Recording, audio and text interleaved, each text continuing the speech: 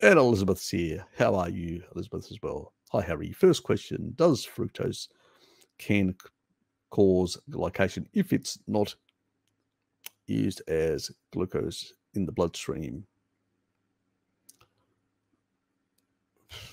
Look, it's seven to it depends. It depends on a lot of factors. If you're engaging the Randle cycle, it's going to be 10 times more glycating than glucose. If you're not engaging the Randle cycle, it's only going to be seven times more glycating. And then it depends on the quantity. You know, advanced glycation end products is basically when sugar molecules um, I mean, obviously, if you overcook something and you actually cook the sugars, because remember, there's there's the glycerol backbone to you know to fats, so that part can actually be overcooked. So that's where from meat you can get advanced glycation end products, but you really, as remember, it's trace. You really have to overcook things to the to the hilt. Um, hopefully, nobody does that. Um, but even if you did it, it's such small, it's minuscule in comparison.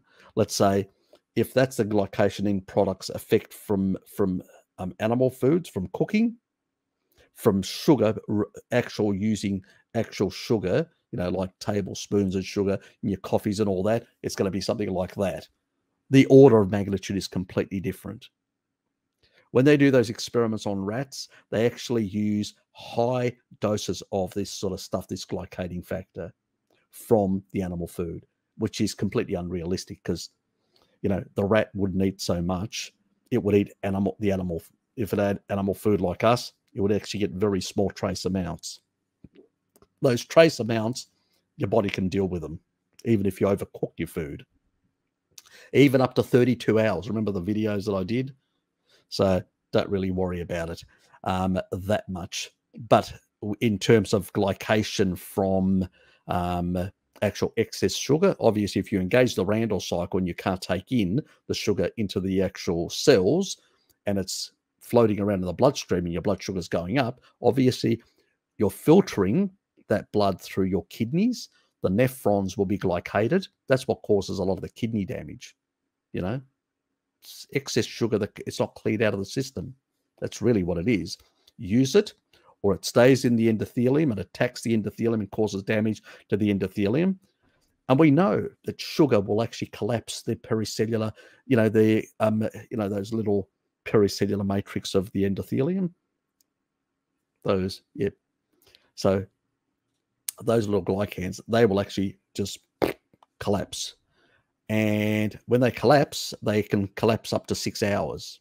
So you're going to basically cause endothelium problems and inflammation from engaging the Randle cycle, not clearing that sugar out of the system. So that's what it really is all about. It really depends on are we engaging the Randle cycle? Are we not? How much quantity is it? How much of that is going to circulate through the blood and get filtered, how many times over and over within a day, how many times every two hours you're going to be stuffing down your, thro- your throat um, more sugar. It's, you know, if you only do it once a day, you probably can, the body can probably manage that. If you're doing it every two hours, you know, it all has to do with the, you know, the quantity of the poison, as they say, that it has the the sort of the sort of effect. So yeah, it's yeah, it's really pretty much irrelevant in that regard.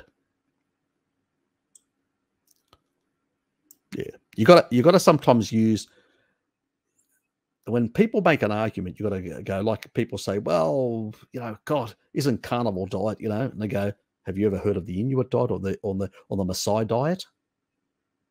You know, multiple generations eating animal foods and no only animal foods. So, what are you implying? In those populations, was there any cardiovascular cancer or any of these diseases? No. So, isn't that enough for you? The N15 data and all that? Do you need more? Or do we need some crackpots to adjust, you know, adjusted statistics in their studies and all that, fabricated truths with epidemiology, you know, are we going to look at that sort of stuff? Or are we going to look at reality? It's like, for instance, I take a measurement from a pulsar. I go, mm, I don't really like that. You know, I think the pulsar has been affected by some sort of nonsense that I came up with in my head. And I'm going to adjust the pulsar measurements.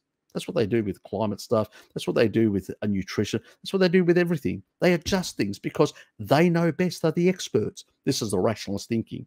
Remember, there are two paths in science rationalism, and the other part is basically empiricism. People that are doing experimental to prove things and validate things over and over.